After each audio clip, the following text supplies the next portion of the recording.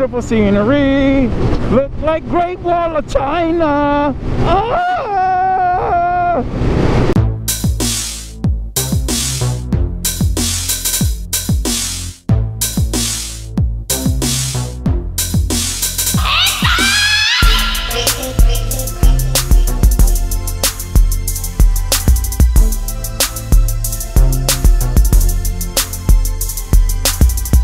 What's up guys? Chilling. About to take a ride on the Supermoto. That's right, the Supermoto. Dum dum dum dum dum dum dum dum. I'll take a ride on the CRF.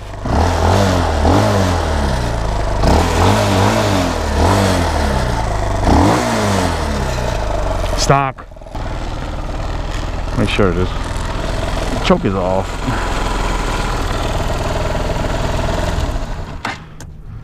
Alright, it was off.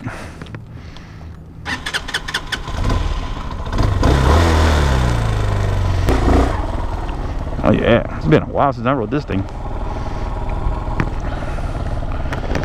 Let's go for it.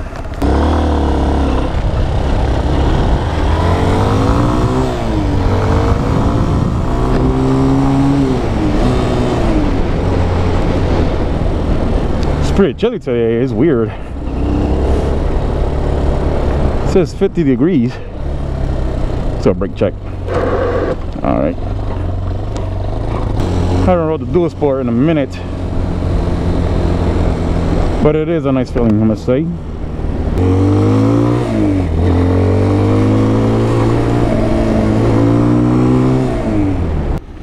It's nice having both, best of both worlds supermoto and a street bike.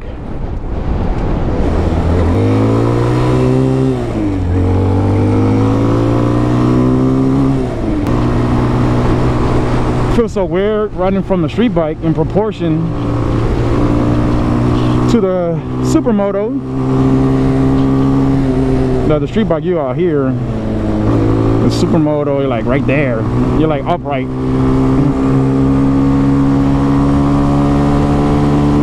feels nice though to sit upright sometimes. Riding this thing you feel like you could toss it around and shit. Really nice. Let's talk more about the bike. This is as my some people might notice some people might not. Who knows? I don't know. This is a honda cr i'm guessing. I'm not 100 percent sure so don't quote me on this. This is a replica this is the Chinese replica of that Honda. Reading by the specs, this bike has 11 horsepower. It rides good. The previous owner was a moto virus was the previous owner on his bike. It's a chinese bike. It has a thousand nine hundred miles on it. That's it. It's a 2013 it really is a tmec chinese motorcycle. It runs pretty good. I can't complain. Uh, this bike brand new costs a thousand like a thousand eight hundred for 2013 bike it only costs 1800 chinese bike. It's nice looking and all too. Good bang for the buck. I have gotten this thing up to 70 miles per hour on the highway. I use the gps on my phone. It does reach 70 some people say they don't but i confirmed it. It might have went a little bit faster because i use that same gps system in my car and while I'm doing 55 on the GPS I'm actually doing 60 on the in my car speedometer you know? So the GPS is actually clocking it slower than what you're actually going. So if this just said 68 miles per hour on the GPS which it recorded it the top speed that I went on this supermoto that means I must have hit at least 75 and yes that's of course going downhill I hit about 60 even going straight. It's pretty good. This is a 200cc. This frame is based on a 125cc bike with a 200cc engine. Like I said before, the bike is completely stock. Has no exhaust. It's pretty quiet. It's fun as hell, man. Can't complain. This is my father's supermoto. It's not mine, but he told me I could ride anytime I want. Right now I got his gear on, elbow pads and all. They look pretty cool. Like it's comfortable as hell. The previous owner of this bike, which was Motovirus, we live in Pennsylvania. He took this thing brand new when he first bought it. Wasn't even broken in yet, anything. He drove this bitch all the way to motherfucking Atlantic City from Pennsylvania. That's a pretty good amount of miles, man. I don't. I'm not a professional uh, expert in miles, but I'm guessing that's close to 100 something miles. And since this is a Chinese bike and all, I am heading to the famous pagoda. If you're from Reading, you know what the pagoda is. Well, that's where we're heading. It's fitting for this bike, perfect fitting for it. The Chinese bike, maybe with a Chinese theme, up in the hills. It's so weird. It's supposed to be like close to 50 degrees. And it feels like fucking 20 degrees. It's fucking cold. It's not moist at all. Alright, we're going this way.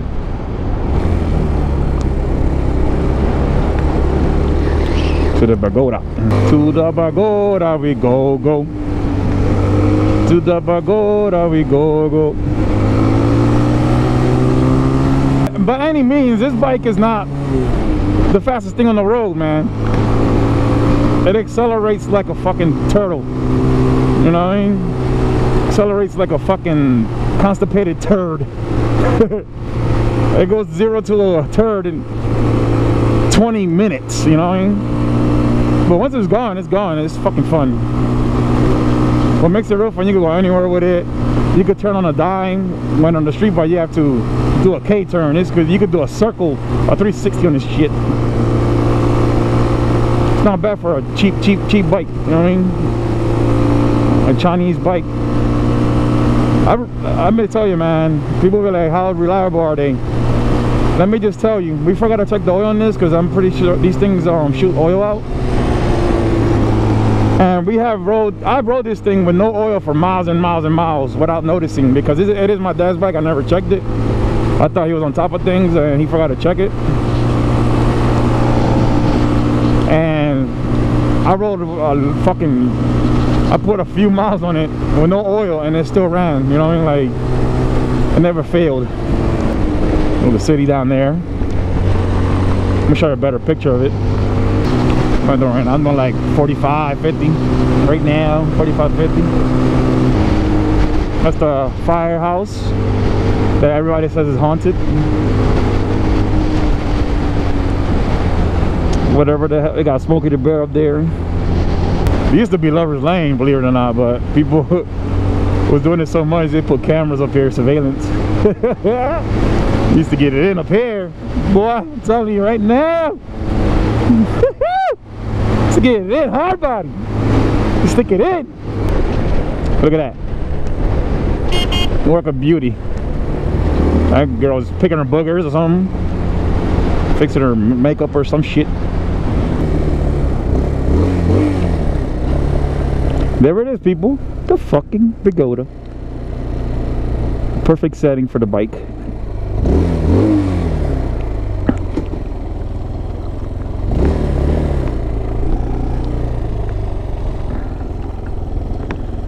Goes Pagoda City of Reading. Welcome.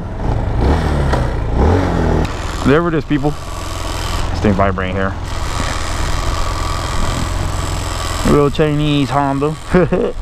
I just put the CRF stickers on it, you know, Honda stickers on there. Put this on the seat. It is a replica after all. It fucks people's minds, you know, it's a mind fuck. People are like, oh shit, what kind of Honda is that? It's a CRF, bro. It is the pagoda. Beautiful setting for the bike. There it is as it sits.